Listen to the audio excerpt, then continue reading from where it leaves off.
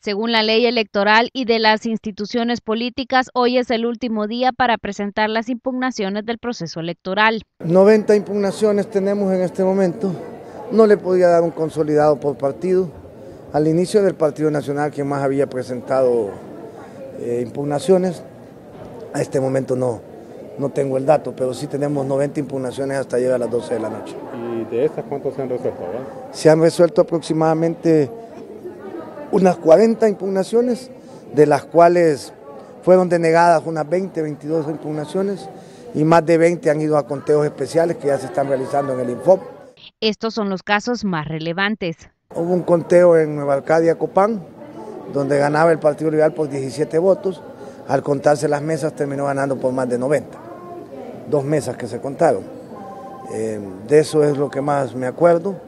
Ah, también hubo uno de San Pedro de Zacapa, Santa Bárbara, que terminó ganando en el conteo ahí especial el Partido Libertad y Refundación, la Corporación Municipal. Aseguraron que el próximo martes se podría estar brindando al pueblo hondureño la declaratoria final. Eh, nosotros estamos terminando de, de procesar todas las actas entre hoy y mañana. Estamos a un 100% en todo el país. Lo que faltaría son terminar los conteos especiales por impugnación, que los estaríamos haciendo este fin de semana. Y creo que ya para el lunes, martes, por tarde, estamos listos para hacer una declaratoria de las elecciones en la próxima semana. De acuerdo a la ley electoral, hay plazo para brindar la declaratoria final de las elecciones pasadas hasta el 24 de diciembre del año en curso. En Notifides le invitamos a fomentar la cultura de la vida, informó en cámara Aníbal Recarte, Evelyn Molina.